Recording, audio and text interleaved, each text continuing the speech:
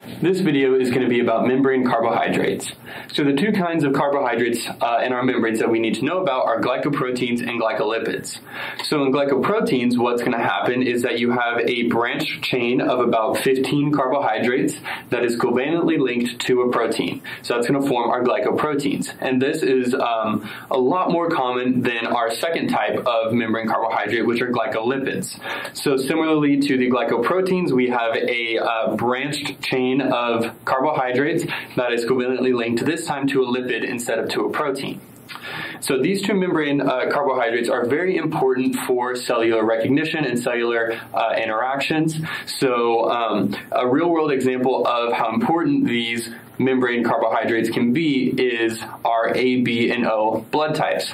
So each of those blood types is going to be distinguished by different uh, carbohydrates bound to the surface of our red blood cells. And so if you don't have the right um, if you don't have the right carbohydrate tag on a particular blood cell, if you get a blood transfusion with a type that is different than your own, then you have a reaction because your body uh, recognizes those as foreign on the basis of the glycolipids and the glycoproteins in their membranes.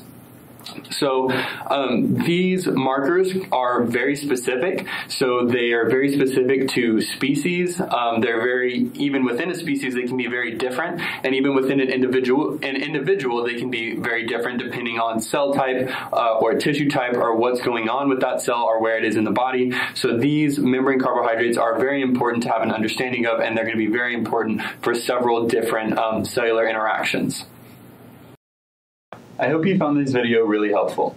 The concepts and information presented in these videos will be true regardless of what biology course you're taking.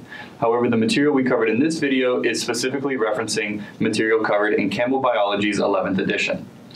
Remember that if you are an enrolled Baylor student, we do offer free tutoring on the first floor of the Sid Richardson building, and you can schedule a free 30 minute appointment to have one on one tutoring online, or you can stop by during any of our business hours. For more information about the services we provide, you can go to our website at www.baylor.edu slash tutoring. Thank you.